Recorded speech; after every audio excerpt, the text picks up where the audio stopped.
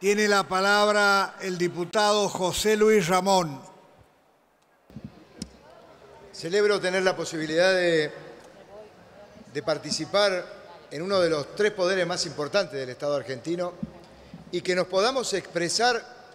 libremente sobre esta situación que está padeciendo el Estado de nuestro país hermano de Bolivia. Y la verdad que y digo, y quiero poner el acento en el Estado, porque el principio de la autodeterminación de los pueblos es algo que no podemos olvidar de ninguna manera. Sobre todo porque el orden que regía hasta el día domingo en este vecino país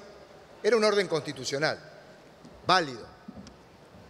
El segundo de ellos es la legitimidad, es decir, el hombre, el presidente, y el gobierno de Bolivia había sido elegido en elecciones libres y democráticas. Y de alguna manera, este presidente a quien las autoridades del ejército, de la policía y alguno que otro dirigente de la oposición le sugirió la renuncia, no es más ni menos, y tenemos que hablar con palabras claras, porque desde el punto de vista institucional, todos los países que formamos parte de la América del Sur tenemos que dar un mensaje claro y de garantía de estas repúblicas y de estos regímenes de gobiernos democráticos que mucha sangre nos costaron a cada uno de estos estados. Por lo tanto,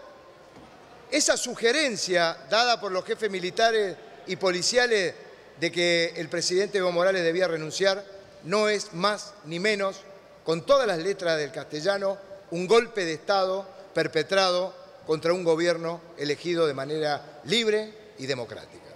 El gobierno había sido elegido para que terminara su mandato el presidente Evo Morales en el mes de enero del año 2020. Eso no se puede interrumpir. Nosotros no podemos disfrazar de cualquiera fuere la forma de aquello que políticamente hubiera ocurrido dentro de un Estado constitucional, tratar de desvirtuar y no decir aquello que debemos, como un Estado y una República democrática, un golpe de Estado es un golpe de Estado en todas sus letras. Por ello, nosotros,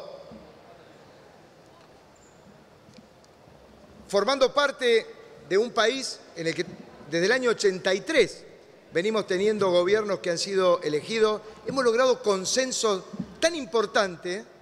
que desde mi generación y la de todos aquellos que vienen debajo nuestro han tenido la suerte de vivir en procesos de elección democrática y cada una de las leyes y de los procesos de reforma que se han producido en nuestro país lo han sido de esta manera en la que podemos discutir libremente. Por eso, desde nuestro bloque de protectora,